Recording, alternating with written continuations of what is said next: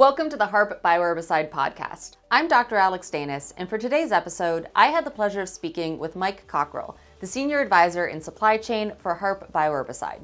Originally from the Washington, D.C. area, Mike has had an accomplished 39 year career with experience in engineering, technology, plant management, manufacturing, and supply chain roles. We spoke about the supply chain challenges facing all areas of the agriculture and manufacturing sectors and the specific challenges and opportunities when it comes to biologicals like Harpe.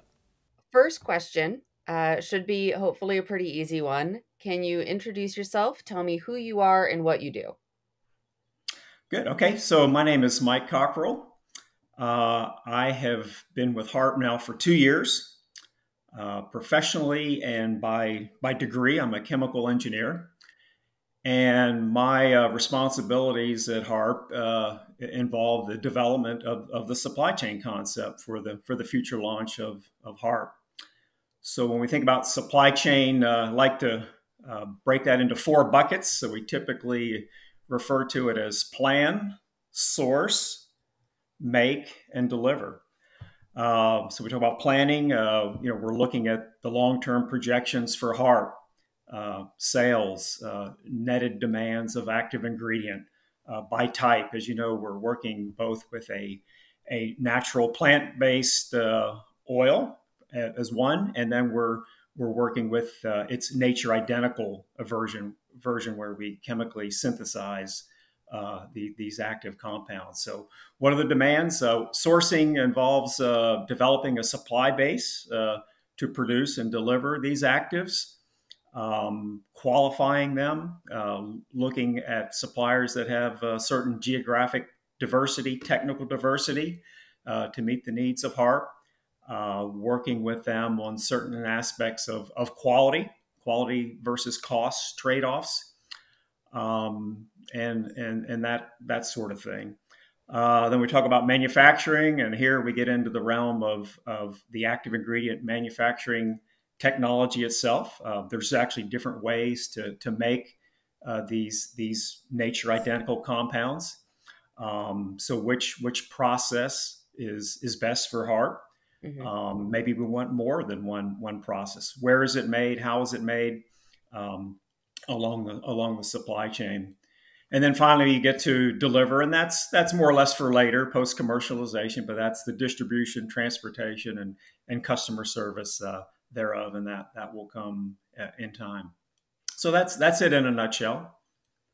I mean, that's a large nutshell, though. There's so many different parts of this that have to all come together to go from actually planning, finding, getting these ingredients, turning them into Harpe, and then getting them to people. This is a complicated process that you are sort of planning out here.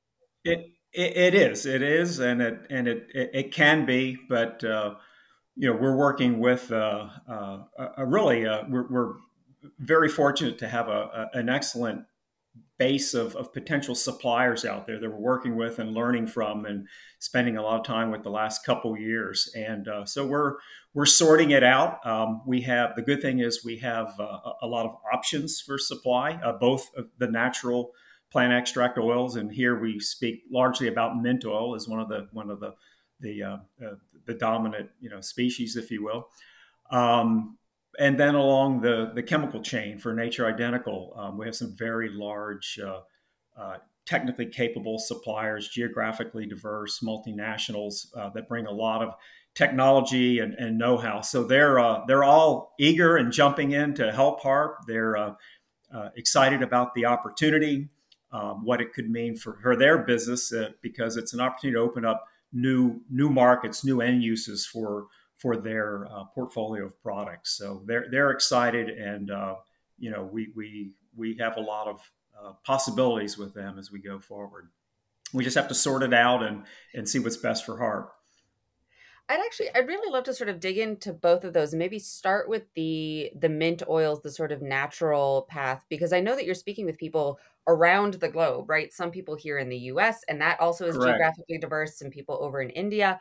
What does Correct. that look like in figuring out, you know, how do you choose where you're going to get these oils from and likely more than just one right how do you figure out the right composition of you know what percentage is coming from these different areas sort of what qualities are coming from different places how do you handle first on that sort of naturally derived side right this problem how do you deal with that well, you mentioned geographic uh, diversity, and that's uh, in, in, the end game. That's going to be very important. Um, you know, if you look at today, uh, India produces uh, most of, of, of, natural, you know, mint oil extract today, um, but the U.S. has a, a, a, significant role, and it's there has a history of production really all over the world, almost every continent. Uh, uh, China has been a, a large producer in the past. Brazil.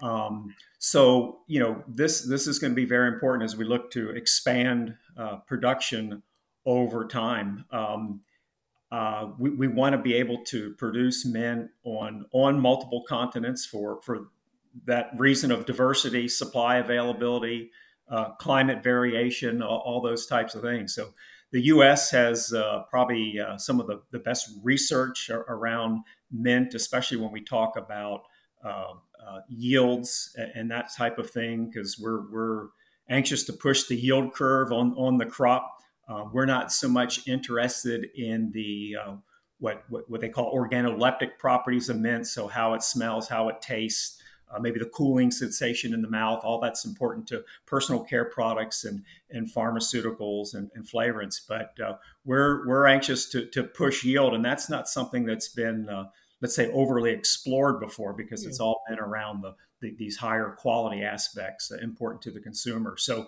a new area of, of, of research potentially. Um, we've talked to you know people that are, have developed you know different mint uh, species and and so that's what we're looking at. But geographic diversity is going to be key.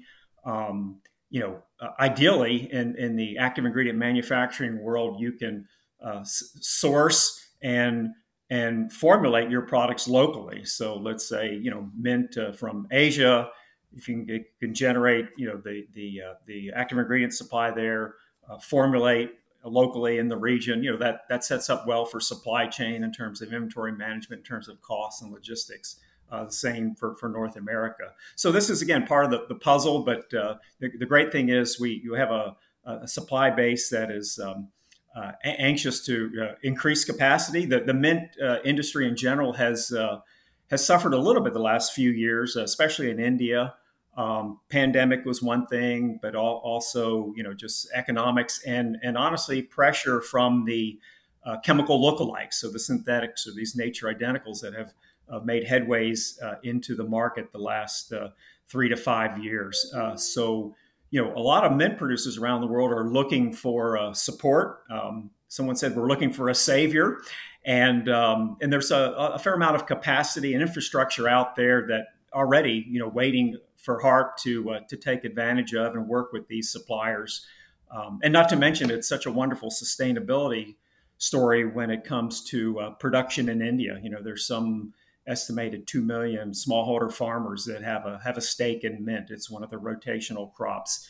And um, so any uh, they are looking for assistance and, and, opportunity. And so I think you know the timing is right and things will, will come together in that in that aspect of the supply chain. When we think about too the people who are making these sort of look-alike molecules, these sort of synthetic, you know, natural similars, what are you looking for in those kinds of things? You know, again, geographic diversity is going to be important. So you can create these sort of local systems of producing, formulating, and getting out all in one area. But what else are you looking for from them? You know, it's not going to be the same thing as yield and growing a crop. What's the sort of yield similarity that you're looking for from those different producers? Yeah, exactly. So we're, we're looking uh, to, to help us, their expertise um, in, in producing these. Uh, these nature identical compounds. You know, there's a handful that that are very interesting to, to Harpe that that exhibit this uh, this this natural uh, bioherbicide tendency. Um, they have a lot of expertise. Uh, some of these compounds have been produced uh, for as long as 70 years, so there's been a lot of investment, a lot of R&D on behalf of these major uh, companies, a lot of know-how uh, and R&D is still ongoing after after 70 years because you know the markets are important to them, And uh, again, Harpe represents an opportunity to them to, to expand, to, to dilute, their cost base, et cetera. So we're looking looking for their know-how. Um, they all offer uh, unique and different uh, chemical routes to, to produce these nature identical compounds, and that's important. Uh, some are more cost effective than others. Uh, the other thing we're looking at is these companies. We know that you know where we uh, exactly start with the chemistry isn't necessarily where we'll end over time as we talk about life cycle management, uh, especially of a new a new discovery, a new active ingredient compound. And we're, we're already thinking about the, the next generation of chemistry and, and, and, analogs to where we start. And we're already having those discussions with these su- suppliers about their uh, capabilities and, and interest to to develop that. So we're looking for companies, uh, supply partners that can can move with us, that can develop with us, that can lifecycle manage and and drive that cost experience curve down over time, which is which is, is which is key to the you know to the long term success of, of any any new new active ingredient compound. So that adaptability then is something that you're looking for, that ability it, to sort of grow exactly. with the product. Exactly. And when you're yeah, the interesting about- thing is we like about that is we can, uh, you know, there, there are different uh, uh, supply routes, so we, we wouldn't necessarily always be bound to a single raw material. So if, if we were, you know, got in a problem uh, of supplier availability or disruption of, uh, let's say, a, a petroleum derivative that could really disrupt the supply chain, um, that's that's not necessarily the case. There's there's different routes um, and and that bodes well for for flexibility and and sort of resiliency in, in the future supply chain. So when you're thinking about planning out the supply chain, because Harpe is not uh, the goal is not to be sort of the ultimate producer, right? The goal is to create this incredible product and hand it over to somebody else who can sort of take over that supply chain. So you're sort of creating this future look and tell me if i'm wrong but it sounds like you're creating this sort of future looking plan that you can sort of present to somebody and be like we've figured it all out for you. Here's how you can go from the raw materials to the product and like we've solved all these problems for you. What's the hardest part of that? What's the what's the sort of space you got to put yourself into to be like i'm solving problems that are 10 years down the road before they've happened.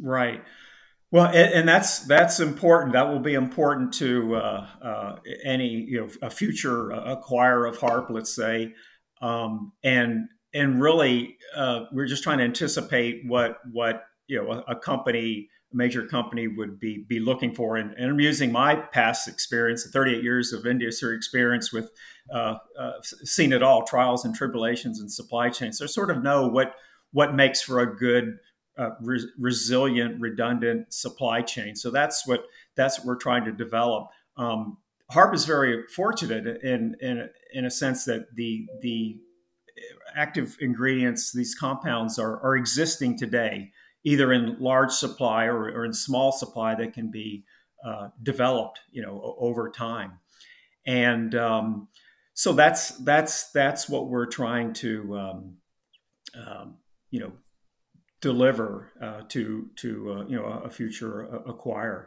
Um, show them the, the path forward. How, how do we you know build out capacity? There's there's a fair amount of capacity out there to, to launch Harpe. That's not a problem, but we're trying to identify the inflection points of when we would have to expand, you know, based on on future demands, when we would have to expand and invest.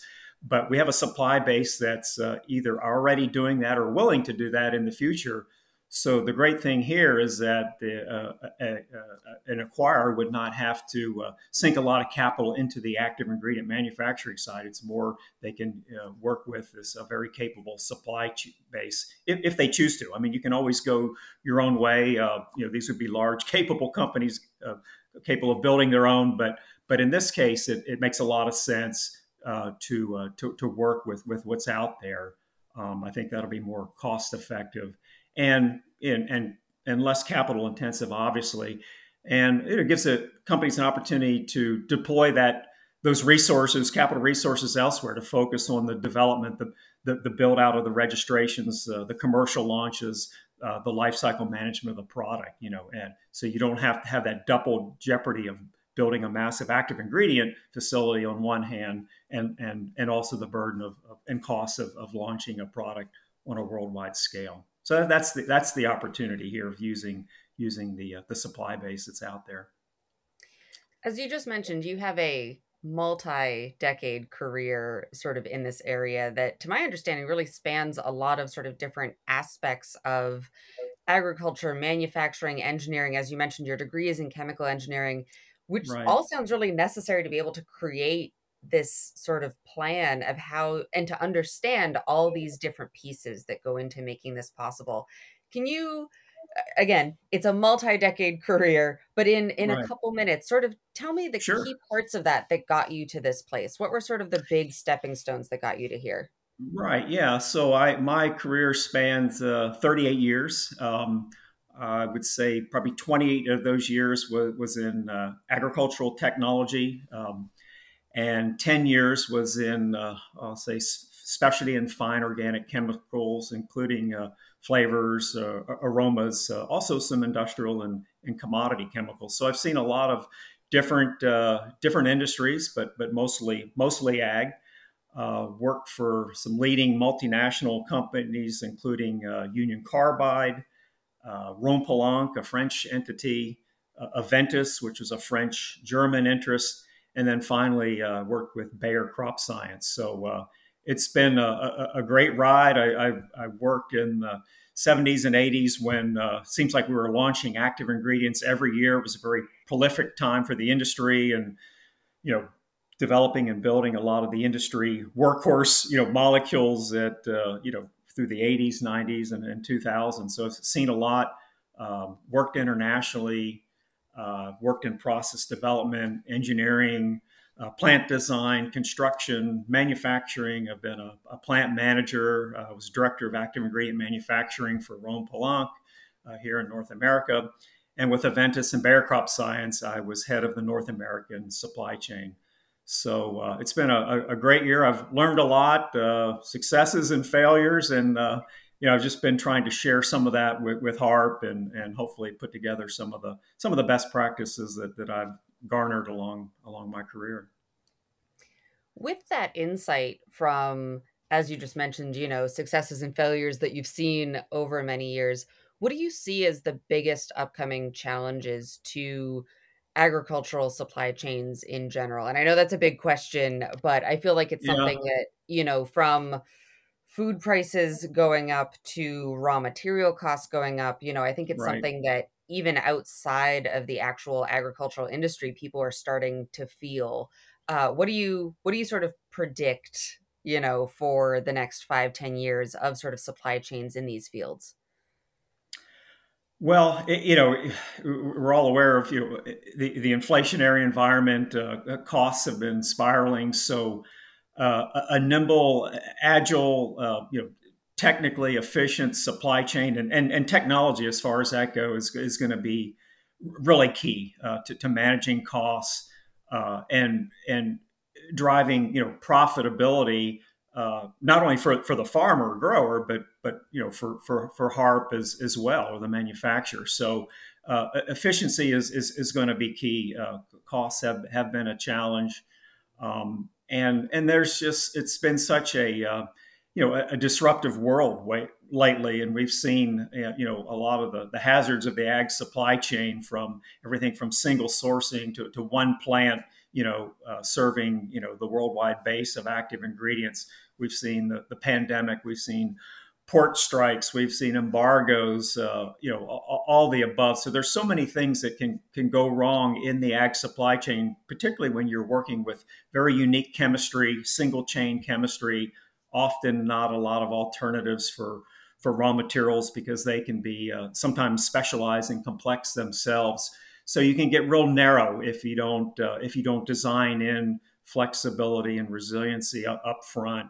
And these are some of the problems, and and that uh, and this is what we're trying to address early on with Harpe to create a technology platform that that is flexible, that lends itself to various manufacturing options and sourcing options, um, and not just be in, in one in one bucket and and uh, and hope that nothing nothing spills. So that's what we're trying to design in, bake in uh, up front. And um, I'm just happy that we do have uh, some options here to consider, which is which is very unique uh, historically. I, have not seen uh, as many supply chain options as, as I have for Harpe and, and, and a dozen other active ingredient compounds that, that I've developed and, and commercialized in, in my career. So this is a this is a real luxury to have this uh, I'll call duality of supply.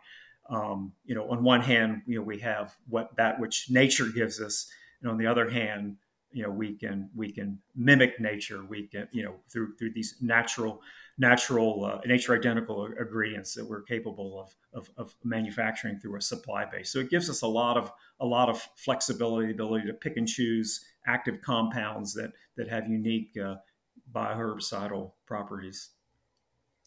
And are there any specific either advantages or challenges to one or the other? You know if you're transporting giant tankers of mint oil do you have to worry about it going bad faster than if you're synthesizing it at the plant sort of thing? Are there any sort of you know this resiliency built in i think is so important from having both of these different options but are there right. are there specific things you're thinking about about one chain or the other of like ooh this is where this one could really excel and this is where this one could really excel in different environments maybe?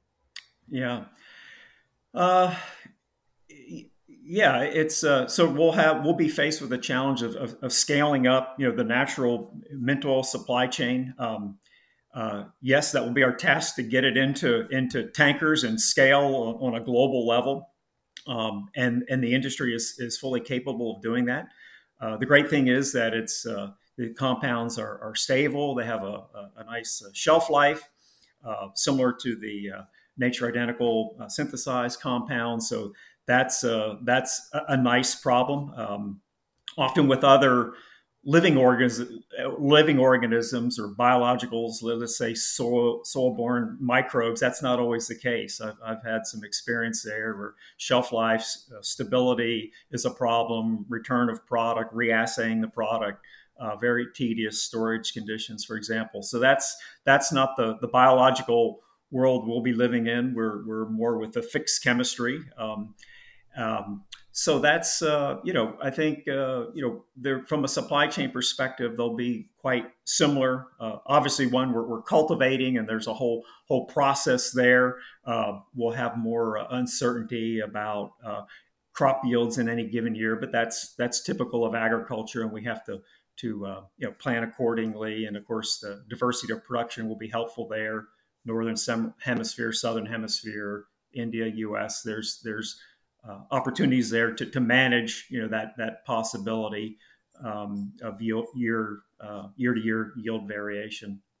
Um, so I hope hopefully I answered your question there. no, I think you did. I think you answered it perfectly. That you know one of the things that I think thinking about biologicals, it's always this fear of like it's got to stay alive, but like these do not. This does not these need to stay not, alive. Exactly.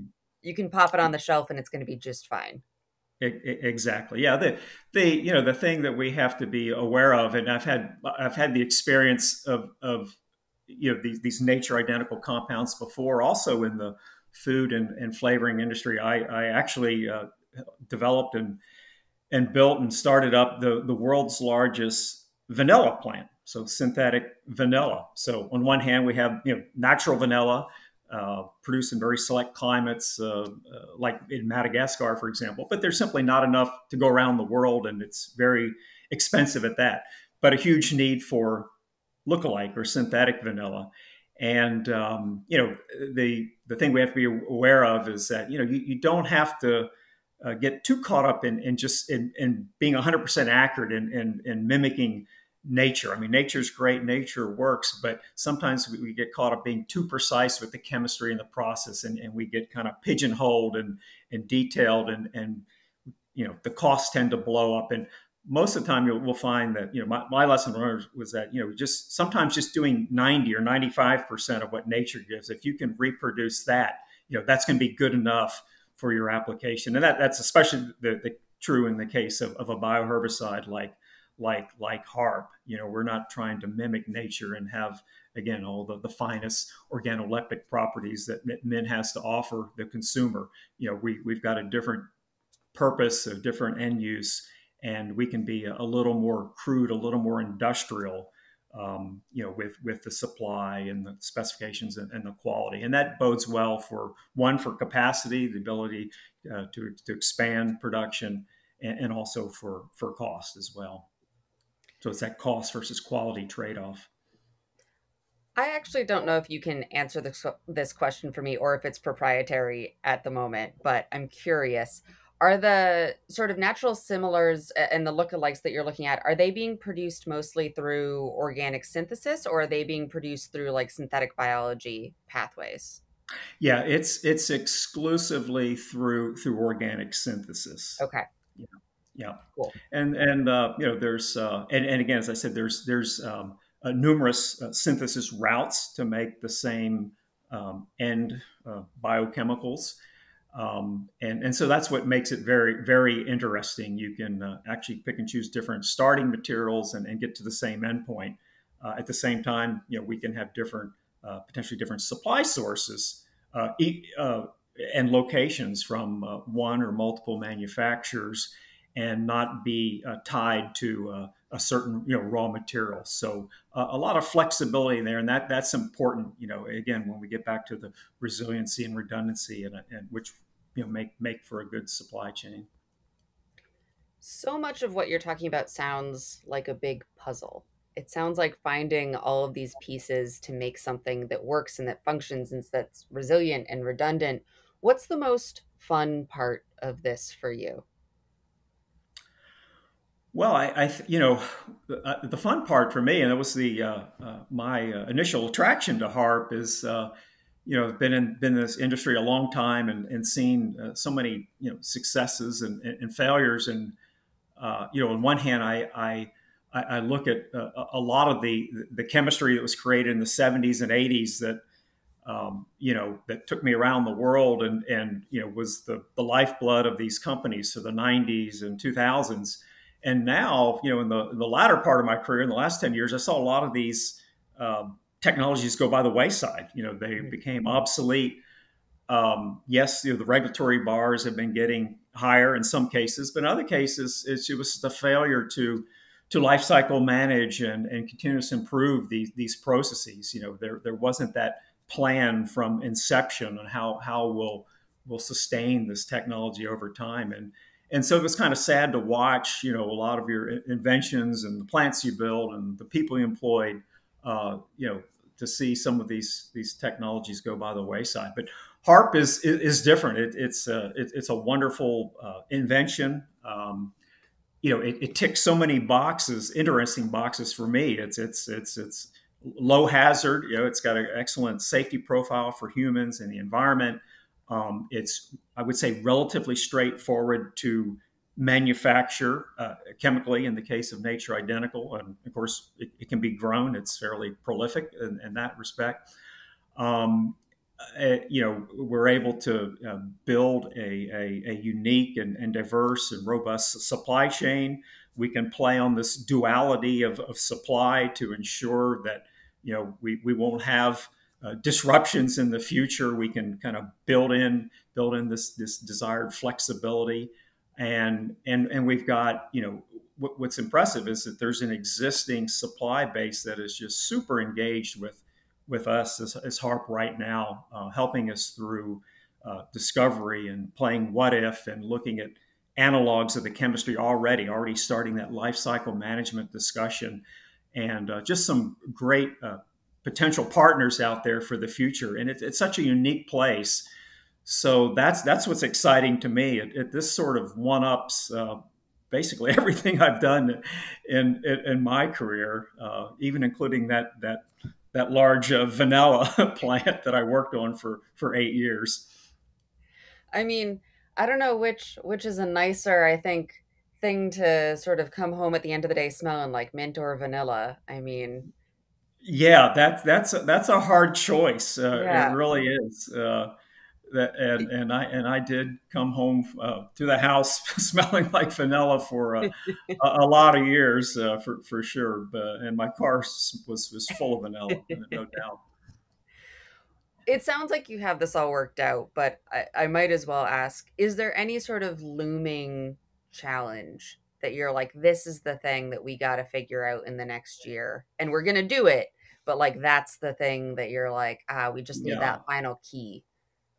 Yeah, well, you know, eh, of course, we're, we're starting at the beginning, and it's the same challenge that, that all new discoveries in technology have. You know, you you you you know, um, you know, you're going to be successful, and, and we've we've got to you know build out and expand. That's that's just a given. It's uh, you know a symptom of of of, uh, of, of success. So. Uh, in, until you actually do that, you know there, there's a bit of uncertainty, and these are all the, the, the things that we're you know we're looking at now. Um, but uh, as I said, we've got a we've got a great uh, team of su- supply partners. There's uh, there's there's options and and technical discussions to be had, but we're we're starting from a from a, a, great point. But there's always that you know anxiety about you know doing it, knowing that you can doing it, and taking those those those steps. But uh, we we know it'll come.